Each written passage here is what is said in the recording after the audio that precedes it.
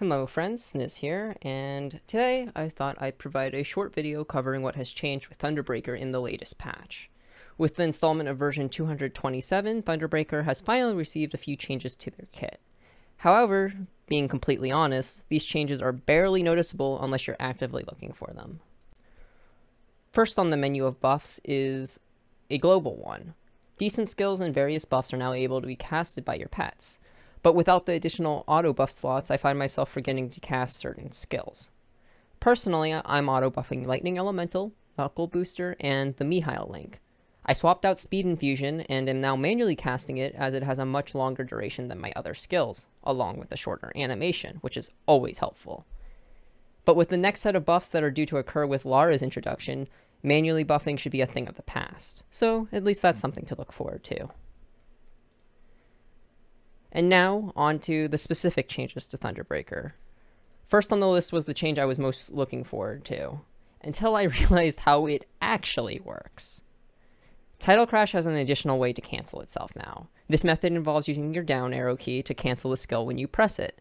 However, you're required to press Title Crash again alongside the down key.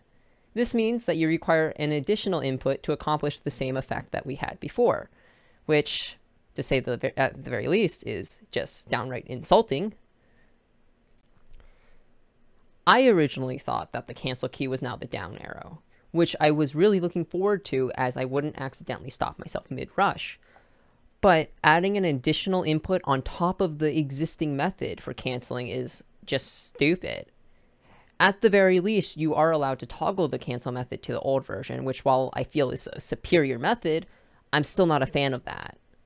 Overall, it might provide some benefit to those who put effort into learning the new method, but from my brief testing, you might accidentally lay down after canceling Title Crash due to holding the down arrow, and doing so prohibits you from continuing your attacks until you stand back up, which, needless to say, hurts the already abysmal fluidity of this class. Next on the list of changes is the Lightning Cascade buff. Lightning Cascade now has a passive effect to activate a singular lightning bolt that will chain to nearby enemies. This effect is able to be triggered every 6 seconds. It should be noted, this effect can only be triggered while the skill is on cooldown, meaning that when Cascade is off cooldown and able to be reactivated, there will be no passive bolts occurring. However, what the patch notes failed to mention is that this buff is strictly for mobbing. After the patch went live and reading the new skill description, it very clearly states that normal monsters need to be within range for the passive effect to activate, meaning this does absolutely nothing for our bossing capabilities. This is a strict buff to our mobbing capabilities, most likely given in response to the removal slash fix of Lightning God Spear Strike a few patches ago, and even then, this still doesn't compare to what that skill was able to do. This change was welcome, but a punch in the gut due to the poor wording of the patch notes. Next, we have a buff to Lightning Spear Multi-Strike. The final attack of the skill now activates three additional Lightning Strikes. Uh, it's, it's a welcome buff, but barely noticeable due to the lackluster nature of the skill already. The coming Lara patch greatly buffs the damage of multi-strike, so we'll see if it becomes a decent burst skill then.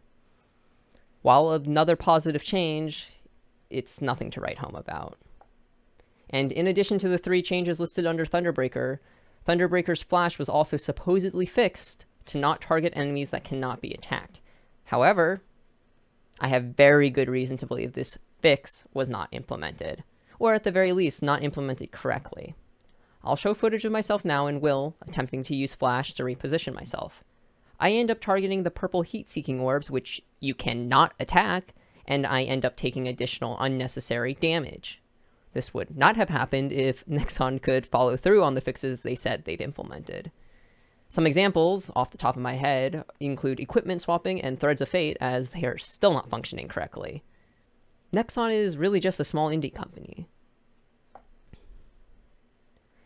Thank you for tuning in. I will probably make similar videos to this one every balance patch from now on, that way you can see me upset consistently as Nexon fails to do anything significant for Thunderbreaker.